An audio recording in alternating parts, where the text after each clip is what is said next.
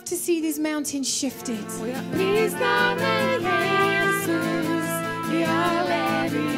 so I want to prophesy this morning. We will lay hands on your hands and your shoulders. I won't be overwhelmed. Og da svarte jeg, og jo da, pappaen min har sagt det. Give me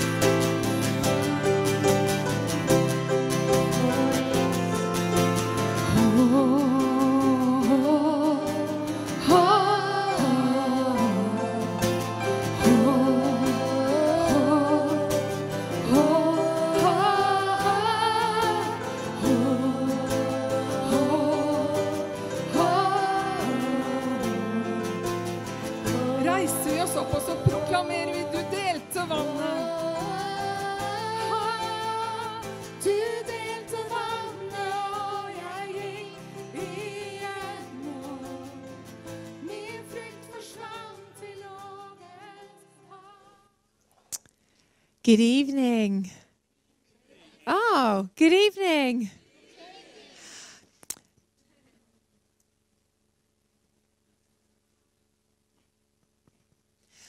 What we um, thought we'd start with tonight Hva vi tenkte vi skulle starte med i kveld, eller fortsette med.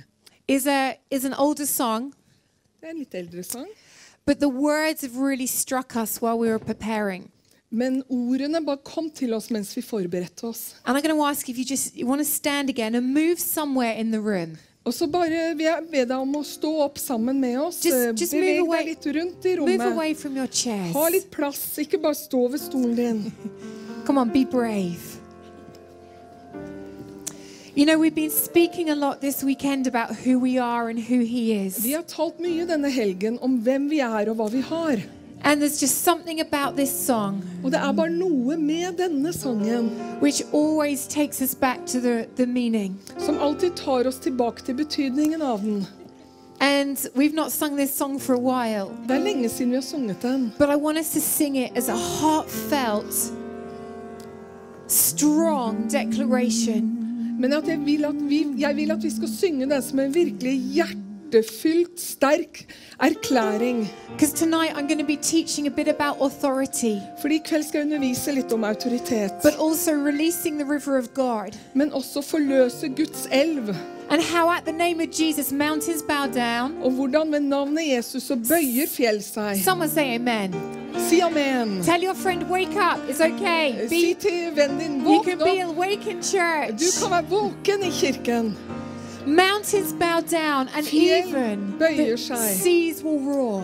Og eh, havene, de vil rope. At the incredible sound of His name. ved den fantastiske lyden av hans navn. And the aim tonight, Og i kveld, or our, our agenda the Father's given us, og det målet Gud har gitt oss, is to release a, a catalyst in your hearts. Det er å forløse noe i di- ditt hjerte. to go even higher, Til å gå enda høyere.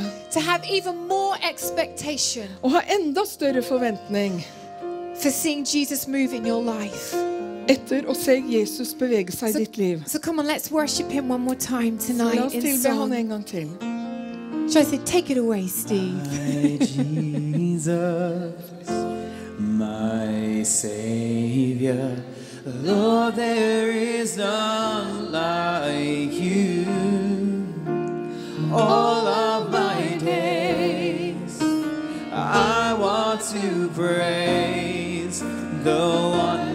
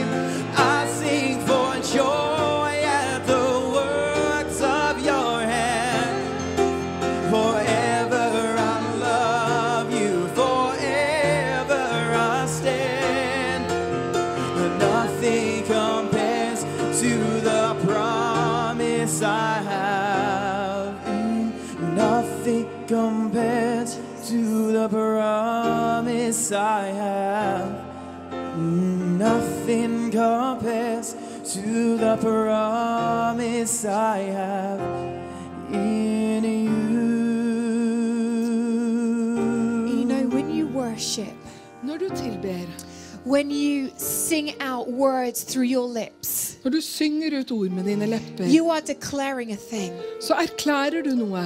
You are declaring to the atmosphere, the principalities, Du erklærer til atmosfæren og til maktene og who is myndighetene king of your life. hvem som er konge i livet ditt. When you sing something Når du synger noe unto the king, til kongen, you absolutely make a way så baner du en vei. because you are saying something of worth to the king. Fordi du sier noe av verdi til kongen. And when you have mountains in your life, Og når du har fjell i ditt liv, you need to understand the authority you have. så trenger du å forstå autoriteten du har. A mountain in your life Et fjell i ditt liv, is something that masquerades as immovable. Det er noe som no, eh, djevelen sier ikke kan bevege seg. That looks. Det er noe som ser voldsomt ut. Something in your life that looks overshadowing and intimidating. Noe som overskygger deg og skremmer deg. That by your hands you. Det er noe du ikke kan flytte på med dine fysiske hender. But tonight Men i kveld is about you så er det om å be to a realization og få deg til å forstå of an even greater authority that you have. av den, av den større autoriteten du We've har. been singing Mountains Bow Down. Vi har sunget 'Fjell, dere må bøye Does anyone believe that? Er det noen her som tror the sound of your name. Ved lyden av ditt navn. If a mountain bows down at the name of Jesus, Når et fjell bøyer seg for Jesu navn, the daughter, the son walks through. så går sønnen og datteren igjennom. What the enemy wants you to believe Det fienden vil at du skal tro, is that a mountain is intimidating, er at fjellet er skremmende. that a mountain is, is causing you fear, Og at fjellet får frykt til å komme over deg. is sucking life out of you. Det suger livet ut av deg. But the son and the daughter Men en sønn og en datter stand under the gaze of the Savior. står sammen med Frelseren. You look at that mountain Du ser på det fjellet, and you command, Shift, you're in my way. og du kommanderer 'flytt deg, du står i veien for meg'. I said, You command, shift. Du kommanderer et, You're in my way. flytte seg. Det er i veien for meg. You're annoying. Du er eh, i veien You're for meg. frustrating. Du frustrerer meg. But today I will not give you the glory of bringing frustration into my life. Men i dag vil ikke jeg gi deg æren av å skape frustrasjon i mitt liv. I will not give the enemy glory for the mountain. Jeg vil ikke gi fienden ære for fjellet. And one thing that I always do, Noe jeg alltid gjør. because sometimes we have mountains, Noen ganger har vi fjell. we have things to overcome. Vi har ting vi må overkomme. But the Lord said to me, Men Herren sa til meg, Chloe, you let worship be your warfare. Claude, du skal la lovsangen være din You, krigsføring. you do not have to do battle. Du behøver ikke å kjempe. I've already won the victory, says the Lord. Jeg har allerede vunnet Does seieren, sier anyone believe Herren. that here? Er det noen som tror det her? So when you see a mountain, Så når du ser et fjell, you speak to that mountain. så tal til det fjellet. You worship the Lord. Så tilber du Herren. You say, Shift, you're in my way. Flytt deg, du er i veien for meg. Like an annoying little mosquito in Africa. Akkurat som en virkelig irriterende mygg i Afrika. However small it is, Uansett hvor liten den er, it can keep you awake. så kan den holde deg våken. We have experienced this. Vi har opplevd det. So has Mariam. Så har jeg jo, ja. However, Men no matter how little, uansett hvor no matter lite how big, eller hvor stort, mountains bow down at the name of Jesus Christ fjell Nazareth. bøyer seg for Jesu navn. He is Alpha. Han er alfa. He is Omega. Han er He's omega. beginning. Han er his end. Han er slutten. And he wants you to be caught up in his glory story in between. Og han vil at du skal bli en del av hans herlighetshistorie innimellom. To shift the mountains in between the beginning and the end. Flytte fjellene imellom begynnelsen og slutten. To have faith as small as a mustard seed. Ha tro som et sennepsfrø. And so why don't we sing the chorus just one more time? Så la oss synge dette en gang til. With one thing in mind. Med en ting i tankene. Ask the Holy Spirit what mountain you have in your life. Spør Den hellige ånd hva som er fjellet i ditt liv. It may be sickness. Kanskje det er It may be poverty. Kanskje det er It may be relational difficulty. Kanskje det er It may be exhaustion. Kanskje du er There are many things that could be. Det er mange ting dette kan But just ask Holy Spirit to bring one of them to your mind. Men bare be Den hellige ånd om å bringe en av de tingene And picture that mountain. og se det for deg And as we sing, mens vi as we worship the name of Jesus, Mens vi tilber Jesu you navn, command that mountain to bow down. så kommanderer du det fjellet til å bøye seg Jesus. ved Jesu So if you navn. can stand, come on, stand again. And if you don't have a mountain, you lay a hand on someone else. Og hvis du ikke har And you et fjell, sing with them. så legger du to see hånden på that den ved mountain siden av deg, og så synger du sammen med dem, så det So come on, fjellet lift your bøyer voice to seg. him. Så løft din stemme til ham. Shout to the Lord of the earth, let us sing.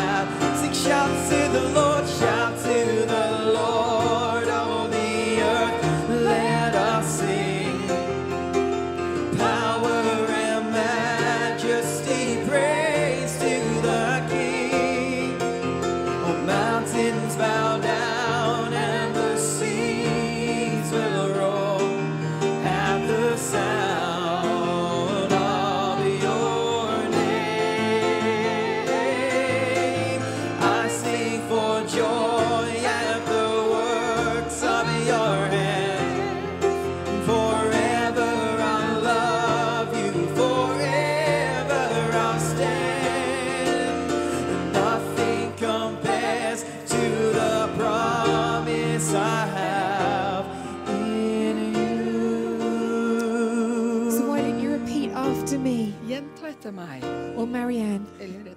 In the name of Jesus, I Jesu navn. I take authority over this mountain. Jeg tar autoritet over dette fjellet. As a son or daughter in the kingdom, Som en sønn og datter i ditt rike. and I command this mountain Og jeg kommanderer dette fjellet to be uprooted, dras opp med roten to shift. Og flytte seg. You get out of my way in Kom, Jesus' name. kom deg ut av veien i Jesu You will no navn. longer hold me back. Du skal ikke holde meg tilbake You lenger. will no longer intimidate me. Du skal ikke lenger skremme meg. You will no longer be in my way. Du skal ikke lenger være i veien for meg. And in Jesus' name, Og i Jesu navn I declare så erklærer jeg I'm a son of the living God. jeg er en sønn av den levende And my Gud. Jesus has won the victory. Og min Jesus har vunnet He seieren. won it for me on the cross. Han vant det for meg på korset. And I thank you, Father, Og jeg takker deg, far, that you've made a way for me. at du har banet en vei for meg. You prepared a way for me. Du forberedte en vei for meg. So I choose to stand. Så jeg velger å stå. I will not be knocked down. Jeg vil ikke bli velta omkull. I will not be shaken. Jeg skal ikke ristes. I will stand on the promise of my Father. Jeg står på løftene til min far, And I believe. og jeg tror. Just tell him you believe. Bare si til him at you du tror. believe in him. Fortell han at du tror. And just take hold of the hand of someone next to you. Ta hånda til den And just som er believe with them for their miracle. og tro Come on, for med dem for deres Whatever they've been mirakel. declaring for, whatever they've been believing for. Uansett Come hva on, de har trodd just Gud believe for. with them. Just Begynn, look at them right now. begynn å tro And just Gud sammen med them. Se, på dem. And some of you are feeling frustrated right now Er det noen som er frustrert nå? because you don't want to do this. For du har ikke lyst til å gjøre dette. But I felt the Lord say, Men jeg kjente at there's a Herren sa kairos moment tonight dette er et Kyros-øyeblikk i dag. where some giants have been, Du har kjent at det har vært kjemper på veien din. And the Lord has said, Og Herren sier He's given you authority. han gir deg autoritet. Choose life tonight. Velg livet i kveld. Choose life. Velg livet i kveld. Sickness was my friend for too long. Sykdom har vært venn av meg altfor For many, lenge. many years up, was my. For mange år når jeg vokste opp, så var sykdom min identitet. And one day I chose life. Og en dag så valgte jeg livet. And I've never looked back. Og jeg har aldri sett meg tilbake. So just bless your friend, never to look back. Så velsign din venn And from om aldri å gå tilbake. life. Se tilbake, og fra dette øyeblikket å velge livet. Thank you, Jesus. Thank you, Father. Takk, Herre. Just high five someone near you and say, Thank God for Jesus. Bare gi noen high five og si takk for Jesus. Thank God for Jesus. Takk, gode Gud, for Jesus. You can take your seats when you're ready. Du kan sitte ned når du You er know, klar. Jesus is the only way. Jesus er den eneste He veien. is the only truth. Han er den eneste sannheten. He is the only life. Han er det eneste livet. No one comes to the Father except through him. Ingen kommer til Faderen uten ved han. And you know what? Jesus is big enough. Jesus er stor nok. He's big enough. Han er stor nok. He's big enough to care for you. Han er stor nok til å bry seg om deg. He's big enough to trample that mountain under his foot. Han er sterk nok til å trampe det fjellet under sine føtter. He's big enough to lift you up over the mountain Han er stor nok til å løfte deg over fjellet because he really loves you. fordi han virkelig elsker He deg. didn't die on the cross for you to remain okay. Han døde ikke på korset for at du skulle ha det ok. He died on the cross for you to fly in heavenly places. Han døde på korset for at du skulle fly He med han i himmelske steder. so that you could bring heaven to earth. Han døde på korset for at du skulle kunne bringe himmelen til jorden. He died on the cross so that you could be sickness free, Han døde på korset for at du skulle være fri for sykdom, poverty free, fri fra fattigdom, anger free, fri fra vrede, frustration free. fri fra frustrasjon. We are not yet Jesus, Vi er ikke Jesus ennå, on a journey. men vi er på en reise. And through the journey, Og gjennom denne reisen to becoming the perfect son like Jesus. så er vi på vei til å bli den perfekte sønn som Jesus. Vi har forskjellige områder i vårt hjerte som trenger å leges. We call it orphanness. Vi kaller det um, um, faderløshet. Fatherless. Ja. Jesus is the perfect son. Jesus er den perfekte sønnen. We've been adopted and placed as sons. Vi har blitt adoptert og plassert som sønner. But we're not manifesting fully Jesus yet. Is that Men- right? Men vi manifesterer ikke Jesus helt ennå. And Er so dere sant? way Så mens vi er på reisen eternity, til evigheten, we need to kick butt on some of the mountains. så må vi banke til de fjellene. We need to get a little bit angry. Vi trenger å bli litt sinna. Jesus turned the tables. Jesus han velta bordene. He stood and he took authority. Han sto og tok autoritet. He would look at something Han and he, så på noe, he would not pray a woe is me prayer. og han ba ikke en bønn. Oh, Father, Å, far, if you're alive, hvis du lever, if you feel like it today, hvis du fortsatt lever i dag, would you please bless my little prayer? vil du velsigne min lille bønn? Jesus didn't pray like that. Jesus ba ikke sånn. He prayed, My daddy in heaven. Han ba min pappa i Oh, himmelen. how holy and magnificent is your name. Å, ditt navn er så hellig og fantastisk. And then, kingdom of God, come now. Og da kom Guds kongerike. Your kingdom come now, here on earth. Ditt rike komme her på jorden. It's what you've taught me, Abba. Det er det du har fortalt I meg, don't Abba. have to beg you. Jeg trenger ikke å tigge You deg. are my daddy, Du er min pappa, in whom you are well pleased with me. og du er vel fornøyd med meg. And I worship you. Og jeg tilber deg. I glorify you. Jeg ærer deg. I praise your name forever. Jeg priser ditt navn for evig. Kingdom of God come now in those eyes. Guds will of God rike be done kommer. right now. Because that is not, not my daddy's will or pleasure. To see that eye not be healed. Det øyet der skal helbredes akkurat nå, for det er ikke min fars vilje at det ikke skal bli The helbredet. tense changes. Eh, Tingene endrer seg. Jesus was full of authority Jesus var full av because autoritet he knew who his daddy was. fordi han visste hvem hans pappa var. And so he ministered with the power of the Holy Spirit. Så han betjente med Den hellige ånds kraft. He saw where the Lord Father wanted him to go. Han så hvor faren ville han skulle gå. And wherever he went, he released the river of heaven. Og alt, alle steder han gikk, så forløste han himmel, livets elv. Ephesians, Efeserne, Ephesians 2, Efeserbrevet 2, verse 6 vers 6.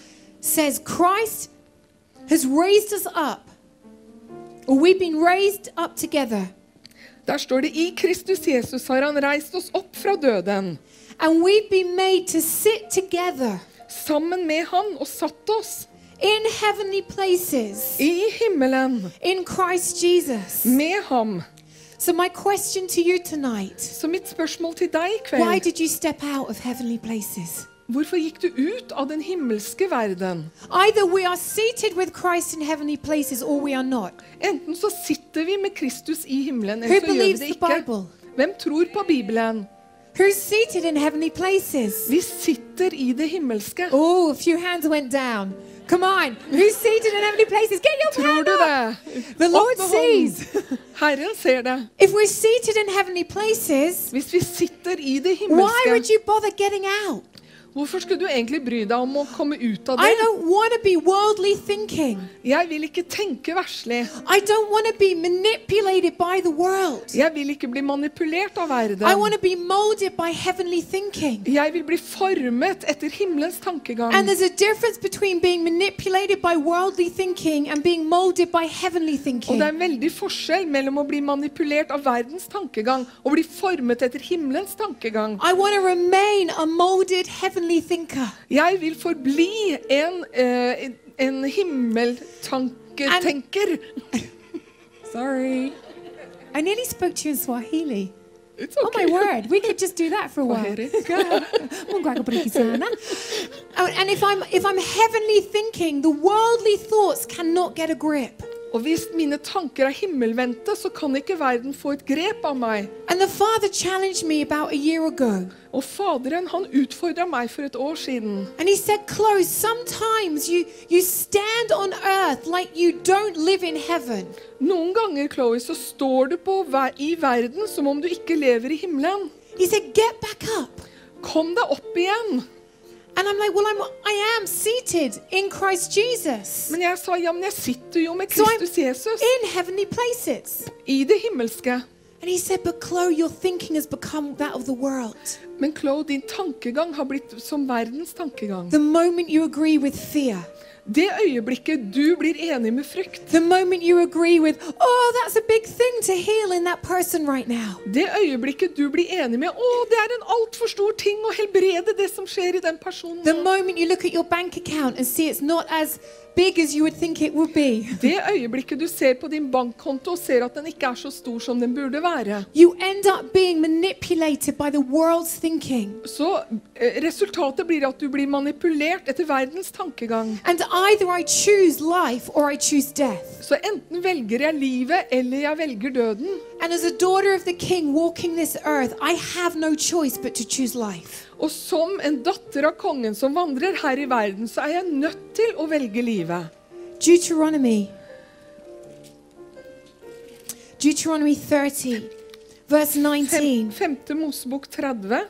says, I call heaven, someone say heaven. Si himmelen. Someone say heaven in English. Si Heaven. Yeah, you can do it. I call heaven Jeg kaller på himmelen and earth as witnesses som vitne. today against you I dag mot deg that I have set before you at jeg har satt foran deg life and death. livet og døden. But it didn't stop there. Men det stoppet ikke der. It didn't say you choose life or death. Det står ikke du velger mellom liv og død. says Skriften choose sier life. velg livet. In a moment of antagonism with the world, I det øyeblikket hvor du kommer i krangel med verden, when the world is saying no, når verden sier nei, he's looking for your yes. så leter han etter ditt ja. When the world is looking to manipulate, Når verden ser etter en mulighet for å manipulere, så ser han etter at du kan bli formet. You Når verden leter etter å fange deg, so sånn at du fortsetter å være en som er faderløs, he's så ser han etter at du skal begynne å fly. So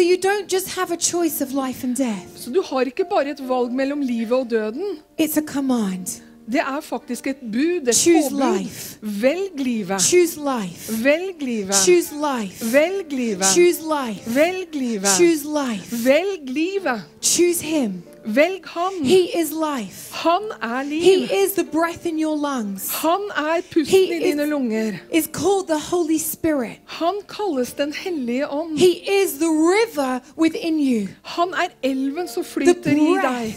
The breath in your lungs. Han er pusten i lungene When dine. scripture says choose life, Når Skriften sier 'velg he's livet', saying choose me. så sier han 'velg meg'. Choose me. Velg meg. Pick me. Ta meg.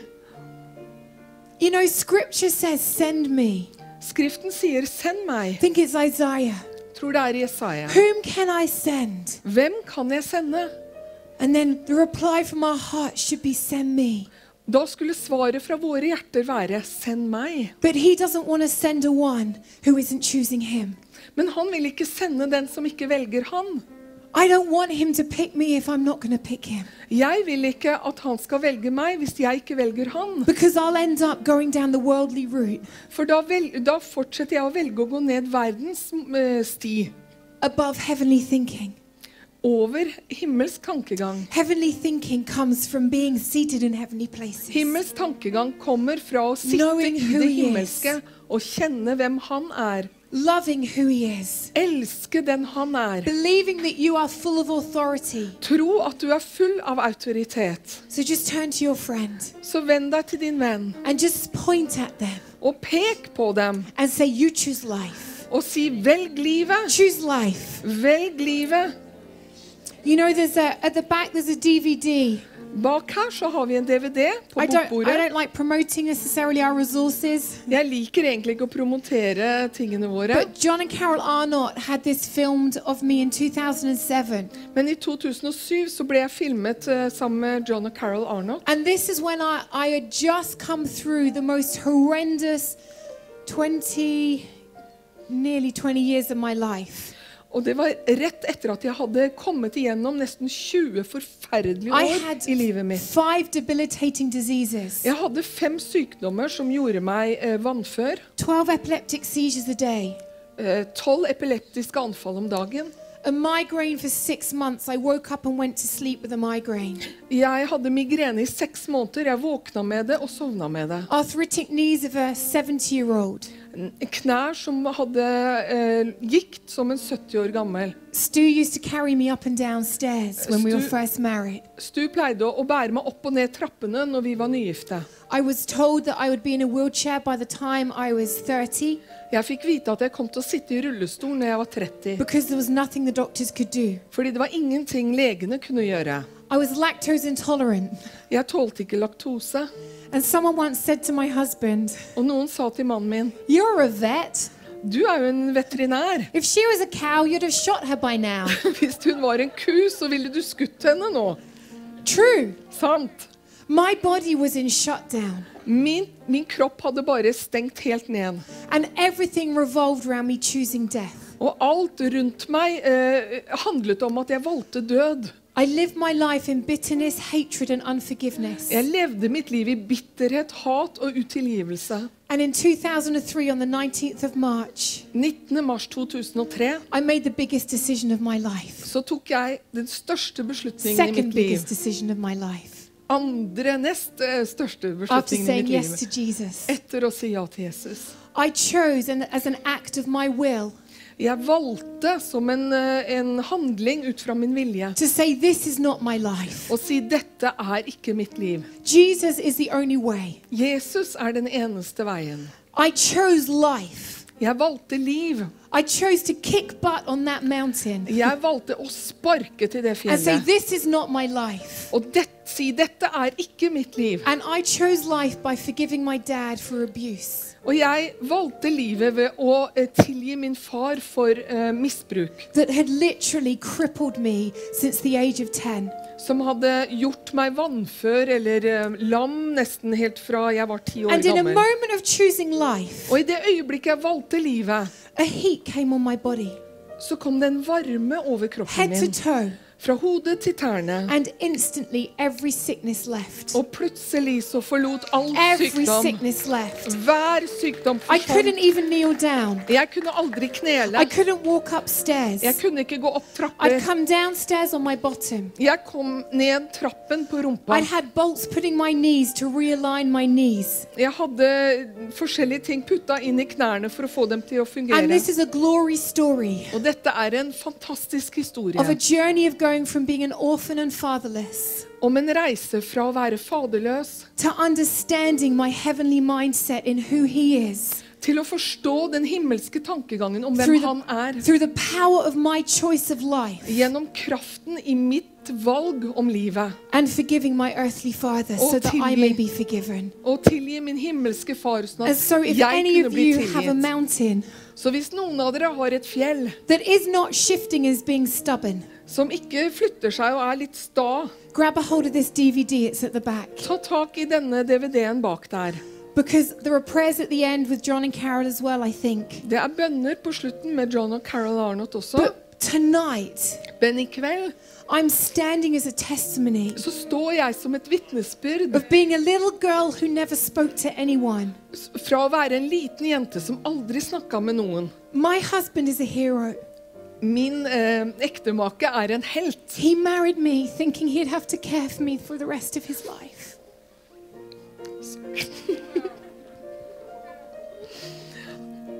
Han gifta Sorry. Sorry.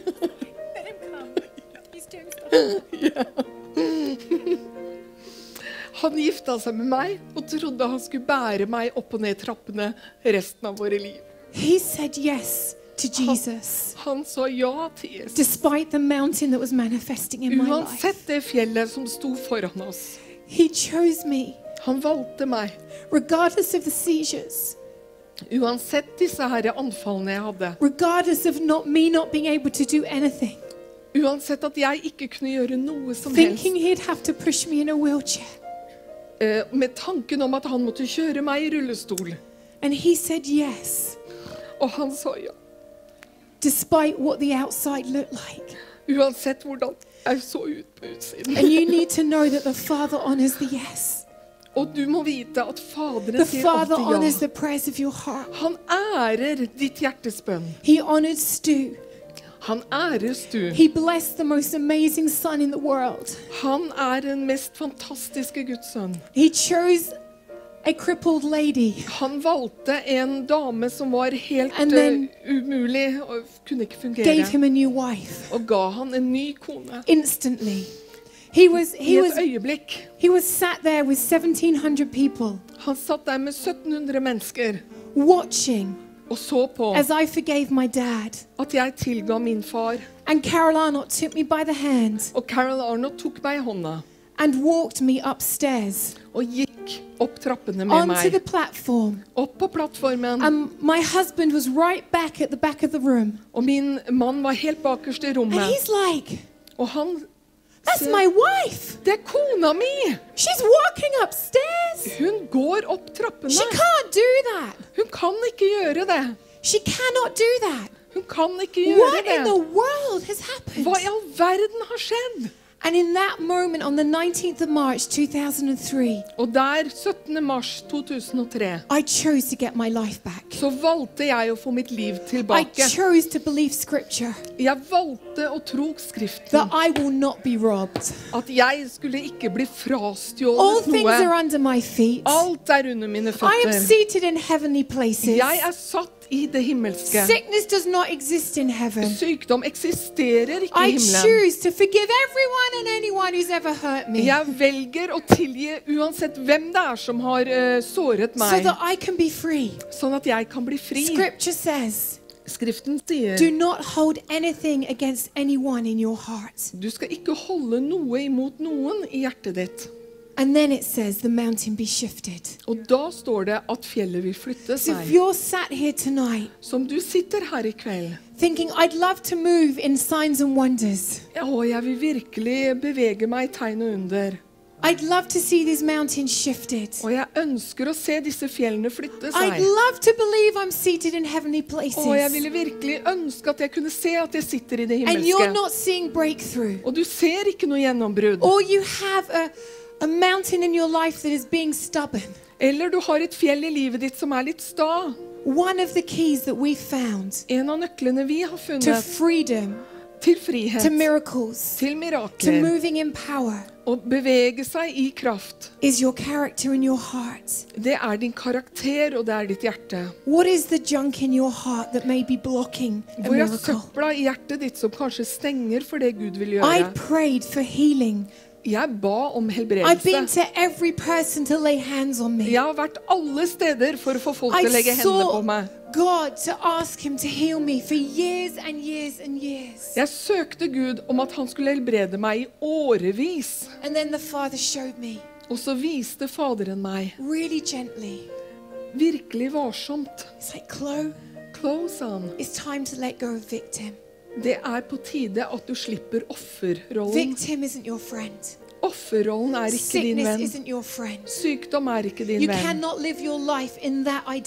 Du kan ikke leve livet ditt med This den identiteten.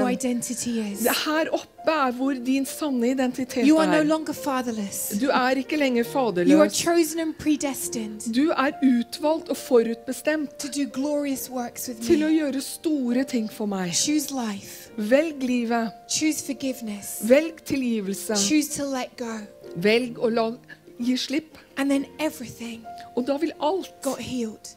alt ble We helbredet. went to the doctor Vi gikk til doktoren, and we said, God's healed me. og vi sa 'Gud har helbredet And meg'. she'd been my doctor for many years. Og hun hadde vært legen min i mange And she år. looked at me Og hun så på meg. up and down Opp og ned. I kneeled down. Jeg knelte I ned. up and down. Jeg hoppet opp og I ned. told her I'd been skiing. Og jeg fortalte henne jeg hadde vært ute og gått på ski. life. Som jeg aldri hadde gjort før That's i hele mitt liv. so. Jeg elsker snø. And I said, God's healed me. I want to come off my anticonvulsants. Eh, Gud har helbredet meg, så jeg vil slutte med medisiner og, og andre hjelpemidler. Og så så hun på She meg. said, You're crazy. Du er gal, sa hun. You've been on a high level of drugs since you were nine years old. Siden du var ni år gammel, så har du levd med virkelig sterke medisiner. Du er gæren, sa hun til meg. 26. Jeg var 26 år på dette She tidspunktet. then looked at Stu Så så hun på Stu, and said, Well, I guess you're a vet. og så sa hun ja, du er vel en veterinær, So I guess I can kirurg. trust you. så da får jeg vel stole på deg, da.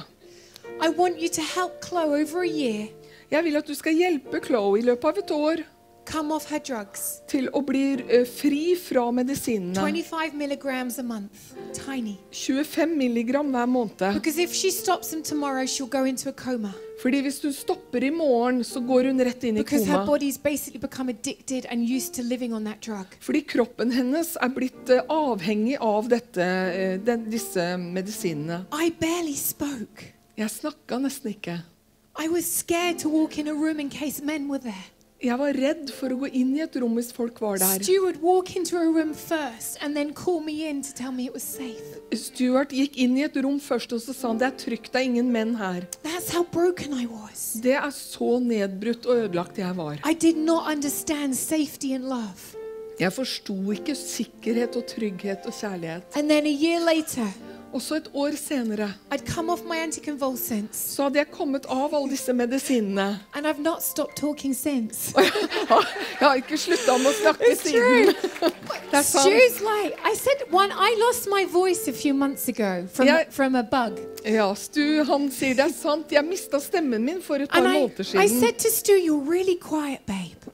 Og jeg sa det er You're så really stille. Jeg, jeg sa til han, han var så stille. He said, baby, no, I'm not. Nei, sa han, jeg er ikke stille. You're just quiet for once. Du er bare stille for en gangs I'm like, skyld. what? What?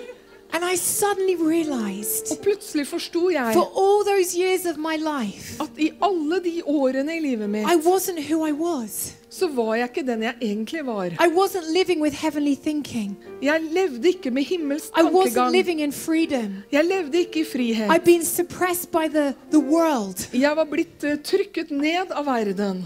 I didn't believe God could heal epilepsy Jeg trodde ikke at Gud kunne helbrede epilepsi eller vonde knær eller I noe didn't som believe helst. I had authority. Jeg trodde ikke at jeg hadde I autoritet. believed the world happened to me. Jeg trodde at det som skjedde, det skjedde i Not verden. that I could partner with the Lord to shift things in the world. Ikke at jeg kunne stille meg som partner med Herren for å flytte ting i livet And mitt. I suddenly found my voice. Og plutselig fant jeg stemmen And I, min. And I believe the Lord wanted to say to you this evening, Og jeg tror at Herren vil si til deg i kveld, in a spiritual way, på en åndelig måte some of you have been suppressed on, on drugs, like you're on drugs for many, many years. Noen her, eller flere kanskje, har vært uh, undertrykt. Du har kanskje vært på medisiner i mange år. Not knowing you have a voice, Og du vet ikke at du har en stemme. not knowing who you are, Du vet ikke hvem du er. not understanding that you have authority, Du forstår ikke at du har autoritet. not understanding that the Lord is crying out for you to believe in who He is. Du forstår ikke at Herren roper etter deg for at du skal se hvem Han er. And I felt tonight is time you find your voice again. Og jeg tenkte at i kveld er det på tide at du finner stemmen din Not igjen. through the manipulation of the world, Ikke gjennom manipulasjon fra verden, but through heavenly molding. men gjennom himmelsk forming. Understanding again who you're called to be. Forstå enda en gang hvem du er kalt til å være. Not shut down or suppressed or unable to run. Ikke lukket ned og ikke er i stand til å løpe og gå. Ikke uten uh, mulighet til å gjøre Not det som du skal. At du ikke lenger er nødt til å ha en mann eller en kone som skal se eller passe på deg. heaven says heaven. Men å stole på alt himmelen sier at han er. If you truly want to see heaven move through you, Hvis du virkelig vil se himmelen bevege seg gjennom deg, to to Jesus, så må du lene deg til Jesus og ikke til verden. Og komme deg opp igjen i det himmelske. Friend. Si til din venn det himmelske. Det himmelske stedet. so Si det høyt så de hører Heavenly det. places. Himmelske. And if they've got down out of heavenly places, just tell them to stop it. Hvis de har kommet ned fra det Just himmelske, tell så them si to til dem stop stopp. You know, if I ever say anything that may sound like I'm not seated in heavenly places, I've given Stu permission to stop my sentence. Hvis noen ganger at jeg sier noe som på en måte kan indikere at jeg ikke sitter i det himmelske, så har jeg gitt Stu lov til å fortelle meg at nå må jeg eh, gjøre noe. And we're like, oh no, no, no, no, don't, don't go there right now. Don't- go there. Og da er vi sånn Å nei, ikke der, ikke der, ikke si det. Get I can't out of your vocabulary. Få 'jeg kan ikke' ut av ditt vokabulær. Get impossible out of your vocabulary. Få 'umulig' ut av ditt vokabulær. Get negative out of your vocabulary. Få negativitet ut av ditt The vokabulær. word impossible does not exist in your dad's dictionary. Ordet 'umulig' fins ikke i din pappas ordbok. Literally, get a new life in him. Få deg et nytt liv i han. A new way of thinking. En ny måte å tenke på. A new way of understanding. En ny måte å forstå. Knowing that nothing is impossible. Forstå at ingenting Nothing er is too umulig. hard. Ingenting er for vanskelig. Nothing is difficult. Ingenting.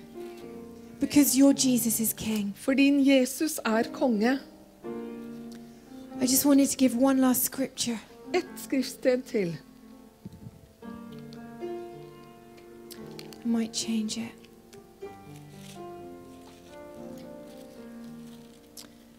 Where are you? In John 7, I Johannes kapittel 7, verse 37, vers 37. says, On the last day, På den siste dagen, the great day of the feast, festens store dag, Jesus himself stood sto Jesus fram and cried out. og ropte. He cried out and he said, Han ropte og sa, If anyone thirsts, let him come to me and drink. Den som tørster, skal komme til meg og drikke. And the thing that stuck out to me here, Og det som virkelig hoppa opp for meg Jesus her stood Jesus sto, and he cried out. The word there, cried, means a desperate cry. og han ropte. Ordet her for rope He er et desperat desperate. rop. Han var desperat. He's desperate for you to be hungry, Han er desperat etter at du skal He's være sulten. desperate for you to expect. Han er desperat etter at du skal He's longing and desiring for you to believe. Han lengter etter at du skal tro. Because he then says, Så sier han, He who believes in me, den som tror på meg, as the scripture has said, som Skriften sier, out of his heart will flow rivers of living water. fra hans indre skal det renne elver av He's levende vann. for you to believe, Han er desperat He's- etter at du skal tro. desperate for you to remain seated in heavenly Han er places. desperat etter at du skal bli sittende i det himmelske. The world doesn't need you as a dry twig. Eh, verden trenger ikke deg som en tørr kvist. The world needs you full of the river.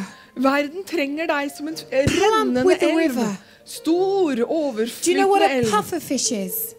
Vet a du hva? Ja, det er en fisk som blåser seg opp.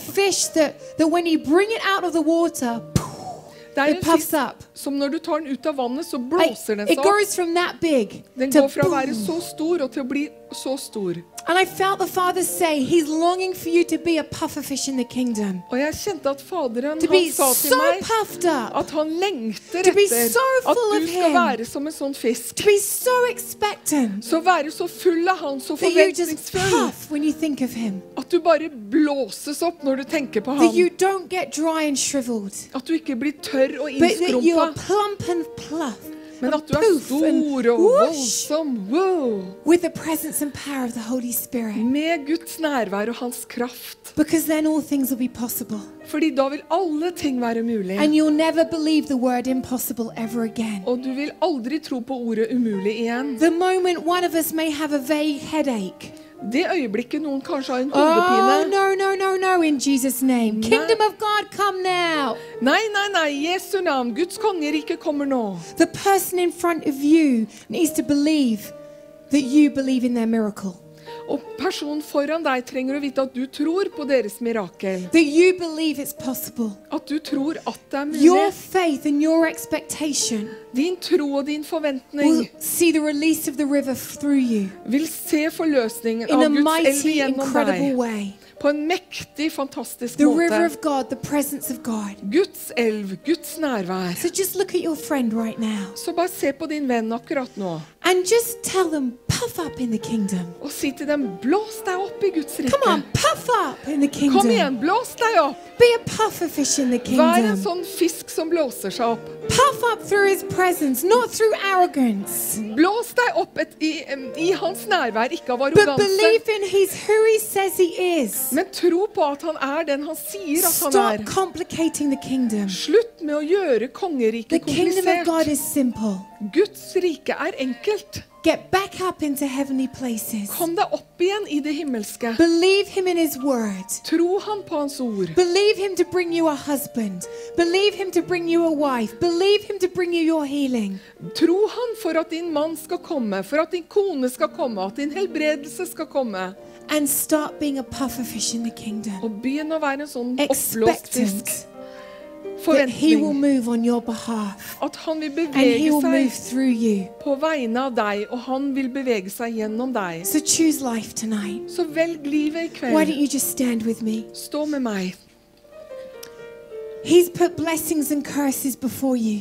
Han har satt foran deg velsignelse og forbannelse. He's put life and death before you. Han har satt liv og død And foran he's deg. charging you right now Og han kommer nå to choose life. og sier 'velg livet'. I'm ask I'm ask you to stand. Jeg skal be om at du, du blir stående. There's something in this moment that is going to show the Father your seriousness. Det er noe i dette rommet som kommer til å vise Faderen at du er um, um, seriøs. Lift your gaze to heaven. Løft ditt blikk til himmelen. And why don't you just repent in these moments of times where you've chosen death?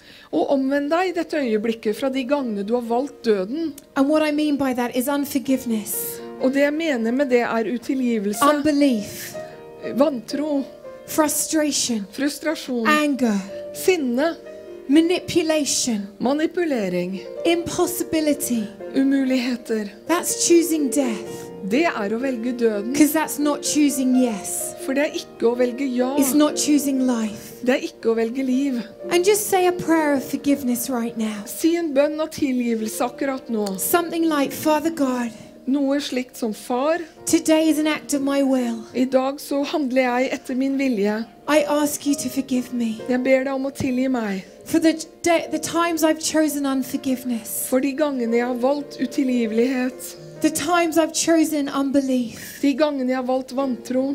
The times I put the world above heavenly places, De gangene jeg har satt verden over de himmelske stedene. the times I haven't believed that you will win the victory, De gangene jeg ikke har trodd at du har vunnet seier. the times I believed in the small dreams Den gangen jeg trodde på små drømmer and not the big things, og ikke de store tingene. where I've limited you, God, Hvor jeg har begrenset deg, Gud. where I didn't believe that you'd heal me. Hvor jeg ikke trodde at du kunne helbrede meg. Today, Father, I dag, far, I repent. så omvender jeg meg. You know, the enemy wants you to be in line with disbelief. Du vet, fienden vil at du skal stille deg på linje med Don't give him vantro. the satisfaction tonight. Ikke gi ham tilfredsstillelsen Give i kveld. Jesus the glory. Gi Jesus æren. And I dare you to believe. Og jeg utfordrer deg til å tro. And just choose life right now. Bare velg livet akkurat nå. Ask Holy Spirit to fill you up. Come on, you and Him. Spør Den Just ask Him to fill you up. Bare spør Ask han Him om å to fylle deg opp. Begynn å Ask be him om to at han fill kommer you med up sitt to nærvær over deg. At han fyller deg Ask til overflod. Be han om å bevege seg Ask gjennom deg. Be han om å bevege seg On i deg, over deg. So that you never say it's impossible ever again. Sånn at du aldri igjen sier at noe er umulig. And one last thing. Og en siste ting. Just say this with me. Si med In the meg. name of Jesus, I Jesu navn. I choose Jeg velger to break agreement å bryte uh, enigheten with my mind being manipulated by the world. med at mitt sinn blir manipulert av verden. And I choose Og jeg velger to be molded by heaven, å bli formet av himmelen. my thoughts taken captive, Jeg tar mine tanker til fange obedient to Jesus, i lydighet under Kristus, so that I will remain in belief sånn at jeg kan fortsette å tro all the days of life. hver eneste dag av mitt liv. I choose life. Jeg velger livet. In Jesus' I. Jesu navn. Amen. Amen. Just get with a friend right now. Stå med en Put your hands on their shoulders Legg hånden på and deres just skulder. release the presence of God into their life. Og forløs Guds nærvær inn i deres Just liv. release the Father into their life. Forløs Faderen Holy inn i deres Spirit. liv.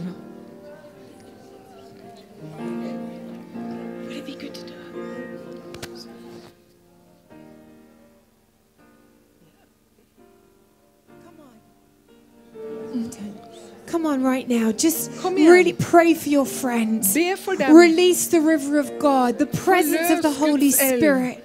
Den hellige ånds nærvær. You know, Ezekiel 47 says, wherever the river touches, Esekiel 14,7 sier overalt hvor elden elven strømmer, så er det liv. so bring life into your friend's world Så right bring now. liv inn i din venn Bring akkurat the nå. fullness of life. Bring fullheten av livet. Stu and I pray for each other every night. Og jeg, vi ber for hverandre hver kveld. And we bring the life into each other's Og vi bringer livet inn i hverandres We bring verden. life. Vi bringer liv. My husband needs a wife who's full of life. Min mann trenger en kvinne som er full av liv. My friends need a Chloe who's full of life. Mine venner trenger en Chloe som er full av liv. Your parents or your children need you to be full of life. Dine foreldre eller dine barn trenger at So du er full av life liv. right now. Så velg liv akkurat nå. Choose the river of God, Velg Guds elv. the presence and power of heaven Velg Guds nærvær. flowing into you, Kraften flyte inn i flowing deg. through you, Flyte gjennom all around you, Overalt rundt deg. above you and under you, Over deg og under deg. so that life comes Sånn at livet in all its fullness i sin and all its glory. I og med herlighet. Holy Spirit, would you thicken your presence? Hellige Ånd, takk for ditt nærvær. Would you come? Would you come? Vil du komme, vil du komme? Would you come? Vil du Would you komme? thicken your presence? Kom med fylden av din We love you, herlighet. Holy Spirit. Vi elsker deg, Hellige Ånd. Wherever life is, Der hvor livet er. wherever life is, Der hvor livet er. death cannot stand. Der kan ikke døden Death cannot have a grip. Døden kan ikke ha et grep. Choose life this evening. Velg livet i kveld. In Jesus' precious I Jesu name. navn. Okay, we would really love to leave tonight having everyone as spiritually, physically, psychologically, emotionally, kingdomly filled with God. Vi ønsker at ingen skal gå herfra i kveld uten at de er fylt til ånd, sjel, kropp, psyko, syke, hva det måtte være, og bare bli fylt av Guds nærvær. And um, I'll be preaching here tomorrow morning. Jeg skal preke her i morgen klokken 11, And Chloe's preaching at Catch the Fire tomorrow at 5 o'clock. og Chloe preker i Oslo klokken 5. Sagene. Sagene. Yes. Ja. I'm very proud of that. Sorry. Jeg er så stolt over det. We will be taking the DVDs tonight, so if you want one, you need to get one before you leave. Um, Du må ta med en DVD før du går i kveld, for de kommer ikke til å være her i morgen. The quickest way to get everyone as full of heavenly juice as possible Den forteste måten å få alle fylt av himmelens saft så fort som mulig, is to get the full prayer team at the front og er at vi får forbønnstimene her foran. and ask all of you to walk through the middle of the prayer team, Og så ber vi deg å gå gjennom eh, tunnelen som blir dannet her. who will lay hands on your hands and your shoulders De vil legge hender på deg på hodet og skuldre and shout things like, More, Lord, og rope ting som 'Mer, Herre', fire on you, 'Ild over deg' and other very spiritual og statements. andre veldig åndelige ting. Is that okay? Er det ok? So, can we get Så kan vi få family kirken, familiekirken, kirken? kirken, Yeah, what she said. Your prayer team, but can we also get the Catch the Fire um, So, um, wider leaders? Whatever. I can't remember what we call you. Fire-lederne. And we'll, we'll get at the front. Så lager vi en eh, tunnel her. And the family. Famili Familiekirkens eh, Where's your prayer team? Yeah, they are here somewhere. Yeah.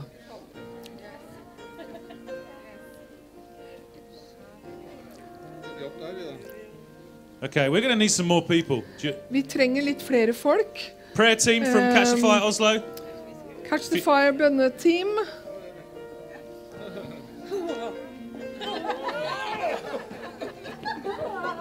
Okay, so the plan Ok, planen.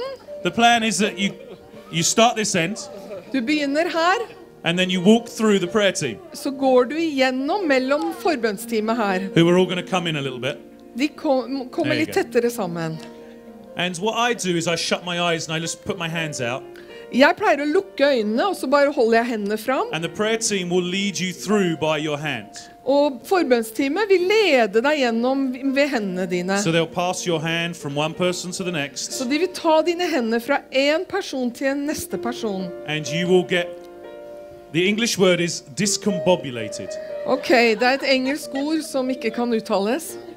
Discombobulated means you'll be so immersed in God that you at, might need to be carried home. det betyr at du blir så neddynket i Gud at du må kanskje bæres hjem. That's the aim. Det er målet. Because if you are so immersed in God that your life changes, Fordi når du er så neddykket i Gud at ditt liv blir forvandlet, then you will change everyone you meet. så vil du forandre alle andre du møter. Okay? Ok? And so we'll get a CD or music on at the back, and so Steve can join in with a prayer. Så vi setter på en musikk, litt musikk, så Steve kan være med og If, be. if you go down, Hvis du faller, which sometimes happens, som kan skje, don't worry, ikke vær bekymret. we'll roll you out. Vi ruller deg bare ut. We won't let you block this tunnel. Vi vil ikke at du skal stenge We'll tunnelen. just make a heap of people over here somewhere. Vi bare legger en haug med folk over her. It's not about what your body does. Det er ikke om kroppen din. Remember what I said last night? Husk hva jeg sa i går kveld. It's about knowing God, Det er, handler om å kjenne Gud. sensing Him, seeing Him, hearing Him, feeling Him. Føle Han, kjenne Han, merke Hans nærvær. Okay? OK? Okay? OK? Oh, okay. Wonderful. Fantastisk. So, those who are going long distance, if you want to come first, De av dere som har en lang reisevei hjem, dere kan komme først. and we'll see you tomorrow at 11 o'clock. Og så ser vi dere i morgen klokken 11. Så vær så god. Da tar dere, kommer dere her, dere som er, kommer langveisfra. Og så starter dere med å gå igjennom. Lukk øynene, hold hendene ut, så tar de dere igjennom.